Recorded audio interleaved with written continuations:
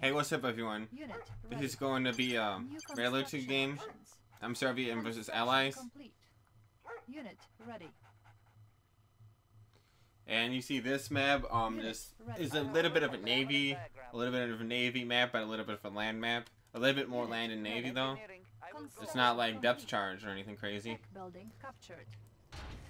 I might like to um get like do a little bit of distance mining from this position and get the ore, and and um from the top left it's actually the top left I think is one of the best spots because um you could there's actually three starting positions but the top left um you could build off of the ore and actually be right on a big cl- clump of ore.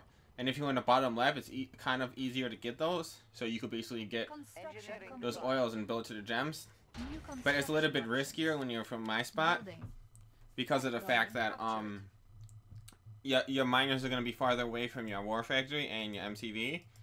So you either got to build your MCV, I mean your miners, your war factory, or your MCV.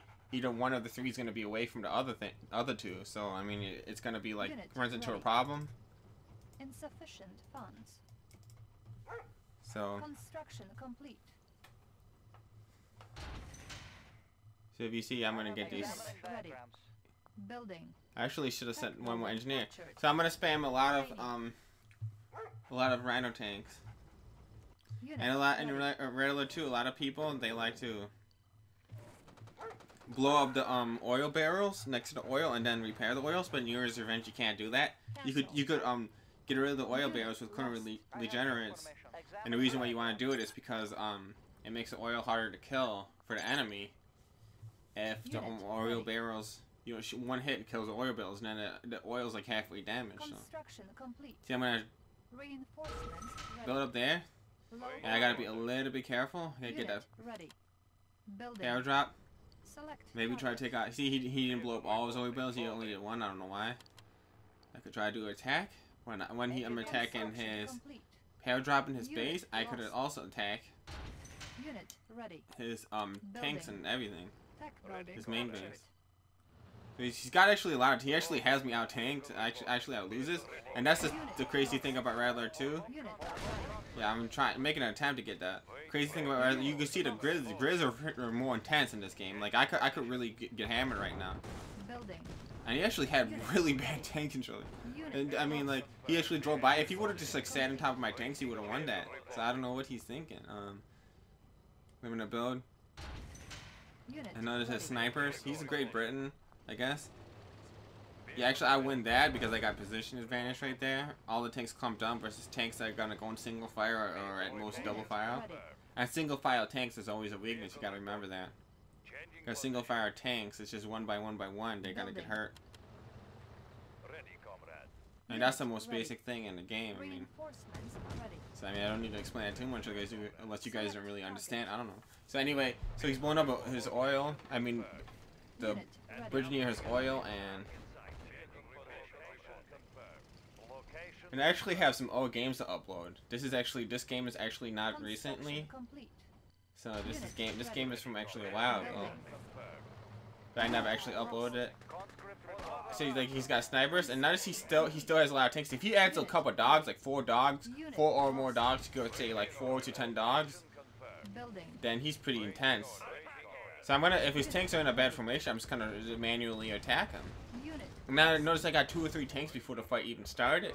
So this guy, he, he really could have put up a, um, you can see like his the weakness in his allies, and I am taking advantage of it. If I was kind of not a, a dumb Soviet, I, I would have just like, kind of done something stupid. But you see, you see like how I'm attacking, kind of right.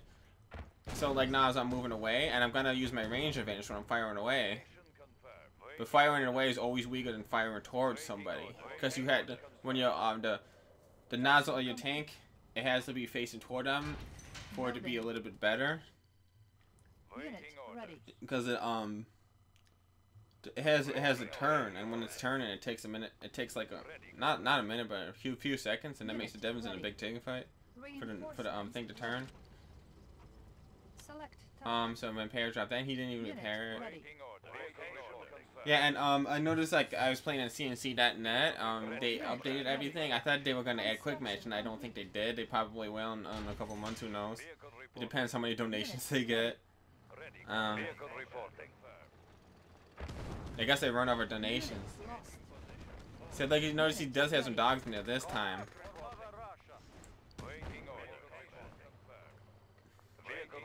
And I, I want them to add zero hour and um generals to CnCNet. I would donate if they would add zero hour. Seriously. But um Waiting order. Location. and I got like a what a 80 millisecond ping, which means it's not too bad. Unit ready. Waiting order. For regular too. So anyway, um, so now he's making a battle lab, which is not not really the best idea because if he starts making Mirage, he actually has me out tanked. He should be sending splits to, to my um other ore, and he should be sending some Rocketeers. I, I feel no air pressure, no reason to make no reason to make Rocketeers. He might be going for Navy, but even if he is, he still should be making some air. He had quite a few opportunities to um to really hurt me bad. Now I'm gonna go in. I don't really think I'm not really afraid of him right now. The engineer IFV not a big deal because the rhino tanks are stronger in general than grizzlies.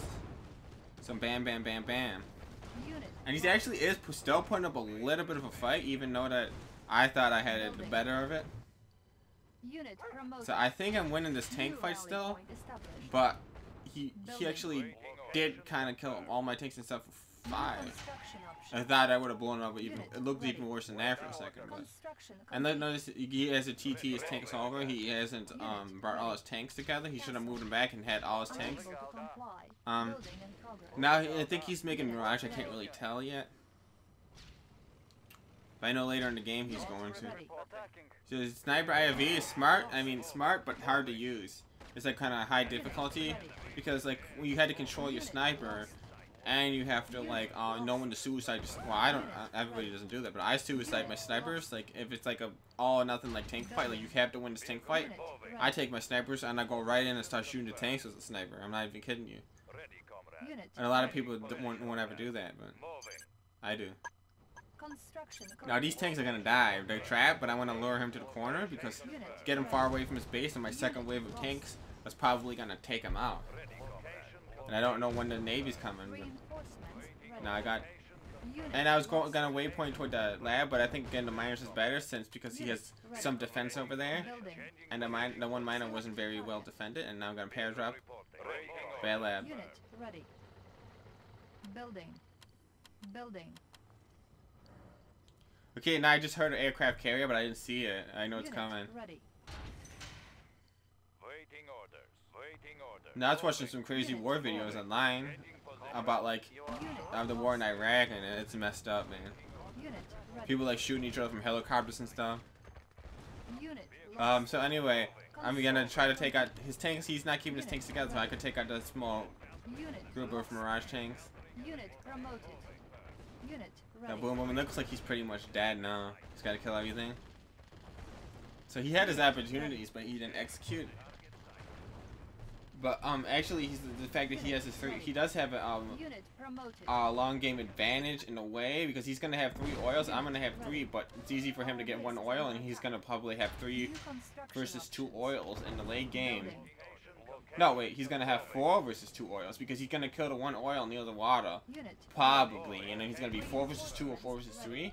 So I'm better early game because of my position, but late game has nothing to do with the country. It has to do just the map, was what I'm talking about.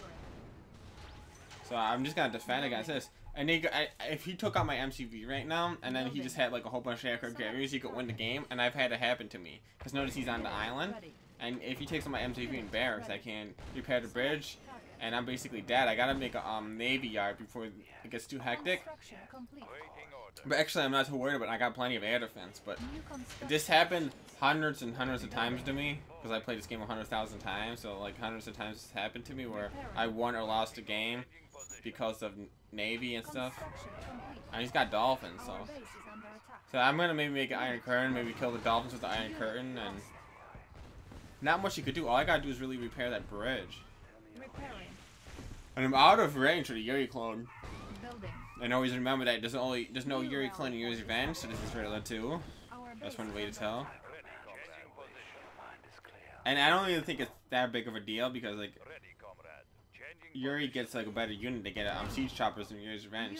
So, lost. Unit ready. but at the same time, Yuri doesn't have to deal with battle fortresses and Unit ready. Our in Red Alert 2. So anyway, Unit ready. Building. Yeah, I think that Red Alert 2, like early game, was definitely a faster pace than Yuri's Revenge, and that's why there's like a higher skill cap for part of the game. Um, like a lot of players, they have difficulty in, in Red Alert 2, so it's it kind of is a hard game to tell you the truth. I mean, it's a fun game. It doesn't mean it's not fun, but I mean, hard game if you're playing versus one of the better players. Like it's you know, it's gonna be a bigger gap. But if you're playing a game like League of Legends, all noobs, like you could you could play with like somebody that's so bad it's just ridiculous in League of Legends. But this, you gotta you gotta actually have skill in a game like this. This isn't. This like I mean this noobs could have fun in this, but I mean this is a game for pros too. Good game.